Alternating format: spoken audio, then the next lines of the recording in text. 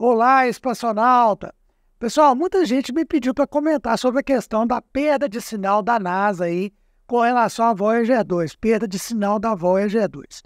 Eu, na época, quando eu li a manchete que saiu, eu não dei muita ideia, porque a gente sabe que é, os órgãos de imprensa são muito sensacionalistas.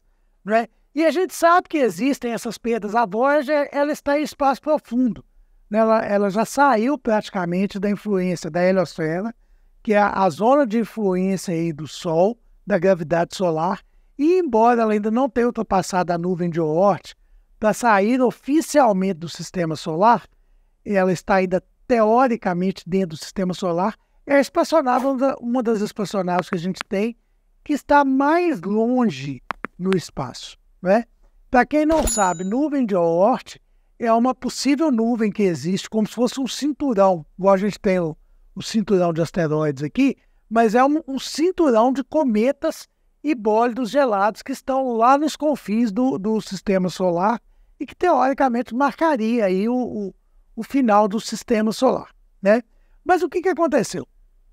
É, a NASA realmente conseguiu restabelecer o contato com a Voyager 2 usando o transmissor de maior potência para enviar aí, tipo assim, um chamado, um grito interestelar que corrigiu a orientação da antena da sonda Voyager é, à distância, né? Segundo a agência espacial disse aí na última sexta-feira. A Voyager 2 ela foi lançada, pessoal, em 1977 com a missão de explorar os planetas exteriores e servir, de certa forma, como um farol da humanidade para o universo mais amplo.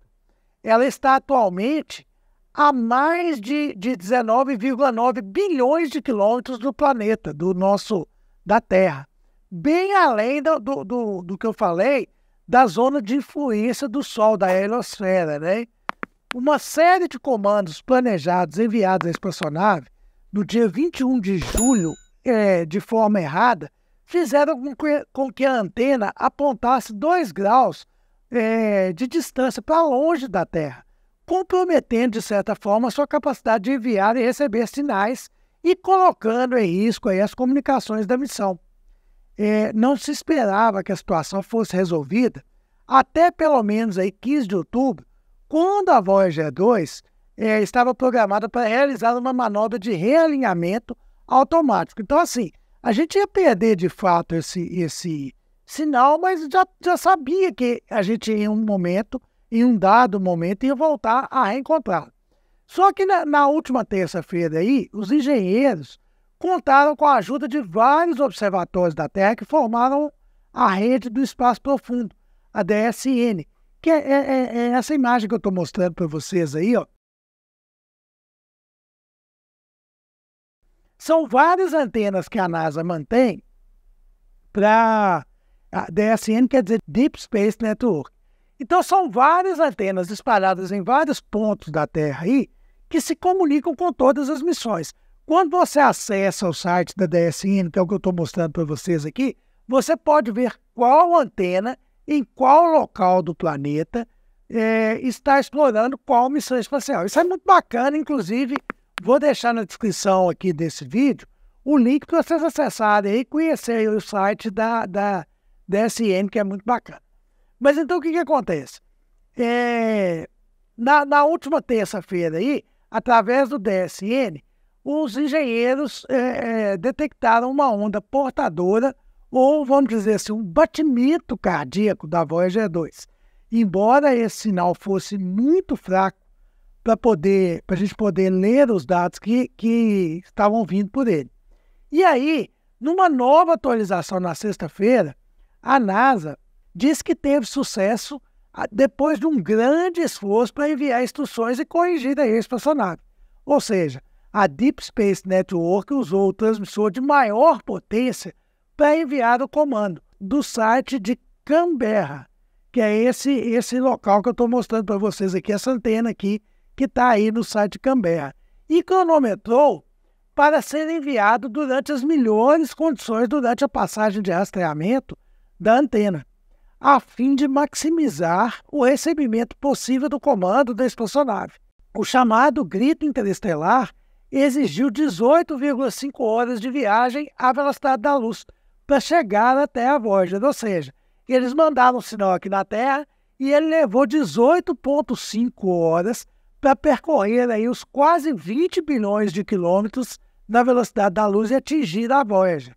É, e levou 37 horas para os controladores da missão descobrirem se o comando funcionou. É porque ele leva aí cerca de 18,5 horas para ir, não é? Aí ele atinge a espaçonave, a espaçonave executa o comando e manda de volta a resposta. Então eles têm que esperar outras 18,5 horas para saber se a coisa funcionou. É o sufoco, espaço profundo é o sufoco, galera.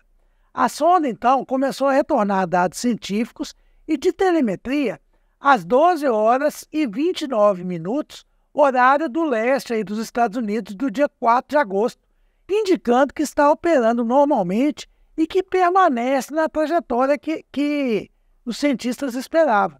Não é? Isso é muito bacana, então conseguimos, né? E por que, que a gente fala que a Voyager 2 é um farol? Ela deixou né, a, a, a heliosfera aí, a, a, parte, a zona de influência gravitacional solar, chamada heliosfera, em dezembro de 2018. E atualmente ela está viajando pelo espaço e entre as estrelas. Antes de deixar o nosso sistema solar, ela passou por Júpiter, Saturno e se tornou a primeira e até agora a única espaçonave a visitar Urano e Netuno. Já falei isso para vocês várias vezes aqui, né?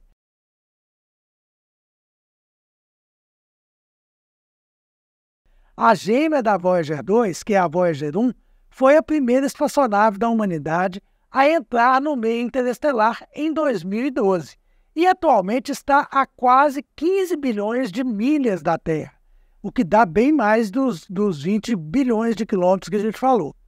Ambas carregam o Golden Records, esse disquinho que eu estou mostrando para vocês aí, ó, que são discos de cobre banhado a ouro de 12 polegadas, destinados a transmitir a história do nosso mundo aos extraterrestres. Isso inclui um mapa do nosso sistema solar, um pedaço de urânio que serve como um relógio radioativo que permite aos destinatários aí que quem receber esse esse material aí datar o lançamento da espaçonave e símbolos que indicam como escutar o disco, como tocar o disco. O conteúdo desses discos selecionados pela, para a NASA por um comitê presidido pelo lendário astrônomo Carl Sagan inclui imagens codificadas da vida na Terra bem como música e sons que podem ser reproduzidos usando uma caneta inclusa na espaçonave. Por enquanto, as lojas continuam a transmitir dados científicos, embora se espere que seus bancos de energia se esgotem em algum momento depois do ano de 2025. Eles então continuarão a vagar pela Via Láctea, potencialmente por toda a eternidade em silêncio. Em silêncio, porque não vão conseguir se comunicar, né? Isso é muito bacana, né? O Carl Sagan, inclusive, escreveu à época um livro chamado Murmúrios da Terra, muito bacana, falando sobre essa questão de mandar uma mensagem aí para, para os alienígenas que encontrassem essa espaçonave. E assim, de forma genial, o, o, o Roddenberry, né, que, que é o autor da série é, Star Trek, criou o seu primeiro longa é, onde uma civilização alienígena encontra a, a Voyager e vem para a Terra buscar o Criador. Porque é, é uma coisa muito fantástica. não vou dar muito spoiler, não, mas vou falar com vocês. Assistam esse longa, é o primeiro longa da série Star Trek, que fala dessa questão. Vou deixar também no link aqui, na descrição do vídeo aqui, o nome desse vídeo. Né? Gostou do vídeo? Comenta aí. Fala o que, que você achou, fala o que, que você esperava dessa questão da voz, se você achou que nunca mais a gente ia ter contato com ela, estava enganado, assim como eu, né? Então, se você gosta do nosso trabalho, quer ser um espaçonauta de carteirinha, já está inscrito aqui no canal, faz o seguinte, considere se tornar membro do canal a partir de R$ 4,99, receber vários benefícios e também vai ajudar o nosso canal a se manter.